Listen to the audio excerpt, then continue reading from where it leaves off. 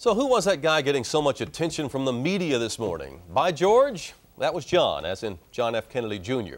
And to sort this out just a little bit further, George is the name of a magazine he started.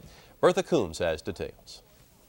The premiere issue of George looks red hot, with supermodel Cindy Crawford on the cover and a lot of big name advertisers inside. A very big launch in no small part because John F. Kennedy Jr. is editor in chief. Certainly it helps and it draws attention, and what any new launch needs is that.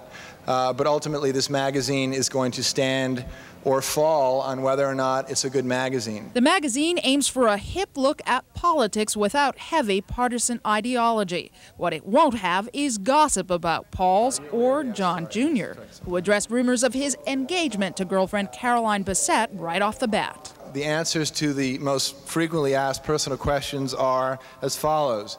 Yes, no, we're merely good friends. None of your business. Honest, she's my cousin from Rhode Island.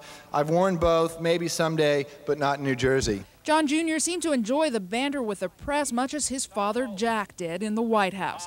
If his mother Jackie were still alive, he says she'd enjoy seeing him succeed. I think that uh, my mother would be mildly bemused. I think that she'd be glad that she wasn't standing up here and I think that she'd be very proud. Kennedy and his partners say launching George has been stressful, but success is taking the edge off. The first two issues have more than 100 pages of advertising, and already they're planning to make the bi monthly magazine a monthly venture after the first year.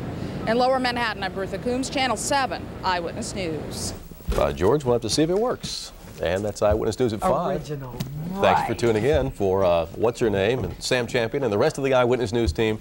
I'm Greg Hurst. The news continues now with Bill Beutel. Yes, bye, George. Thank you, George.